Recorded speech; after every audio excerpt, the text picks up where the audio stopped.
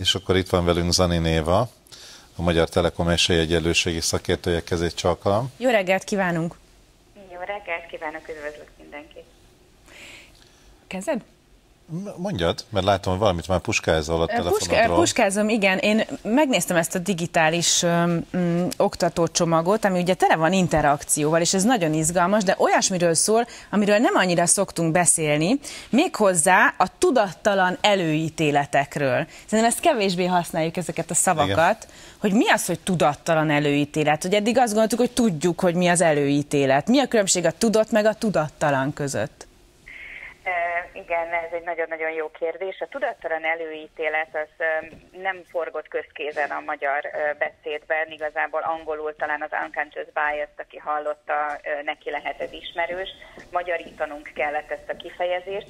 Tulajdonképpen a tudattalan előítéletek olyan feltételezések, amelyek korlátozott információn alapulnak, Ugyanakkor viszont pont azért, mert részinformációkra hagyatkozva feltételezünk dolgokat, ezek azok, amelyek a sztereotípiákat táplálják, és hosszabb távon a hátrányos megkülönböztetés társadalmi újratermelődésének a táptalajai.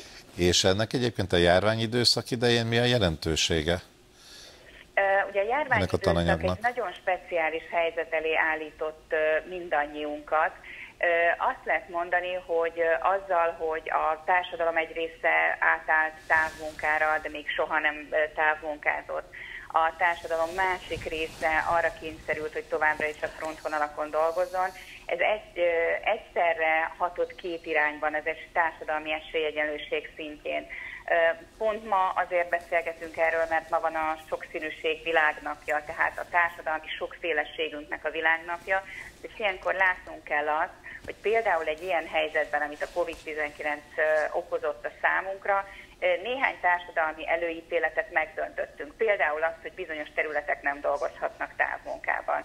Ugyanakkor bizonyos olyan társadalmi egyenlőtlenségeket viszont felfokozott ez a helyzet, amit például a családok egy légtérben tartózkodása, vagy a kevés eszköz és sok munka és oktatásigény szolgáltatott. Tehát ha máskor nem, de most teljesen nyilvánvaló, hogy nem élünk egy platformon, és különböző élethelyzetekben vagyunk, tehát fokozottan oda kell figyelnünk egymás élethelyzeteire, nem dönthetünk reduktív döntések alapján, reduktív infók alapján. Éve, hogyha valaki megnézi ezt a tananyagot, akkor találkozik benne valódi szituációkkal, tehát eljátszott szituációkkal, hogy így, hogy így megmutassák nekünk, hogy mi ez a tudattalat előítélet, vagy hogy hogy döntünk tudattalanul, és mégis előítéletesen bizonyos dolgok mert. De mondjon már egy példát azoknak is, akik még nem látták ezt a tananyagot, hogy mondjuk mi az a klasszikus dolog, ami mondjuk egy cég életében előforduló, ilyen tudattalan előítélet?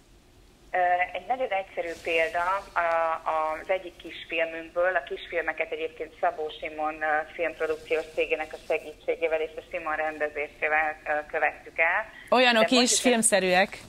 Igen. Az egyik példa az mondjuk az, amikor egy bonyolult projektet egy olyan kollégának szeretne adni a vezető, aki nő, friss, frissen érkezett a vállalathoz, és tudni vélik róla, hogy nemrég volt az esküvője. És az aggály ezzel kapcsolatban az, hogy mivel nemrég érkezett a vállalathoz, bizonyára nincsen elég tapasztalata, és mivel nem régiben volt az esküvője, bizonyára hamarosan szülni fog, viszont ez egy két éves projekt, amiben nem engedhetünk meg ekkora rizikót.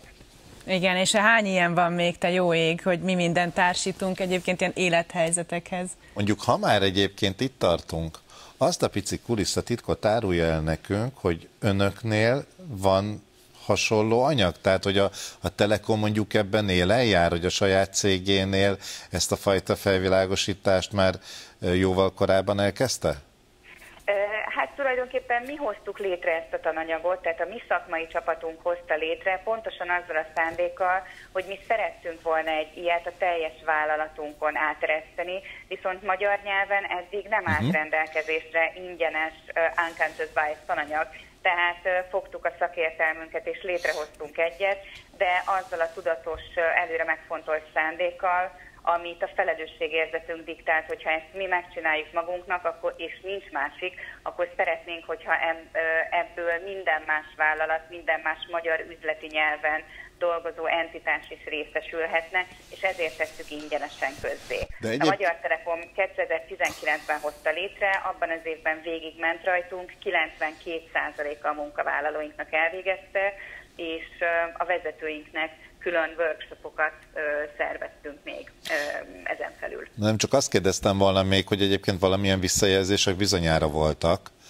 hogy valamilyen jó tapasztalással mentek, végezték Igen. a továbbiakban a munkát, hogy említene néhány példát ezek közül? Legfontosabb az tényleg az, hogy a szemléletmódunkba kezd átcsorogni, és ezt, ezt leginkább azért a saját bőrömön tapasztaltat mondom, mert ez az, ami a közvetlen tapasztalatom.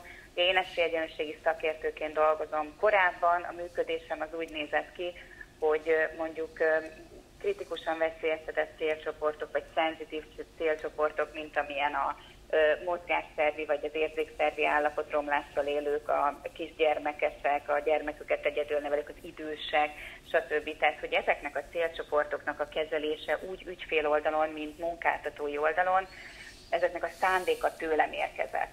És az az érdekes helyzet áll elő, hogy egyre inkább a, az ügyfélkezelési területről, a márka területről, a stratégiai területekről keresnek meg engem a kollégák azzal, hogy már a stratégiai építésekor szer, szer, szeretnék beépíteni a működésükbe ezek iránti szenzitív célcsoportok iránti odafigyelést, és ők keresnek meg engem ö, szakértő javaslatokat. Ez az irányváltás, az alapvetően már azt sugalja, hogy már bekalkulálják és már gondolkoznak azon, hogy spektrumként tekintsenek úgy az ügyfelekre, mint a munkavállalóink. Éva, nagyon szépen köszönjük. Nyilván itt nem a számok a visszajelzés, hanem ezek. Köszönjük szépen, hogy itt volt velünk és mesélt a tudattalan előítéleteinkről. Köszönjük szépen, digitális edukációs percenket látták.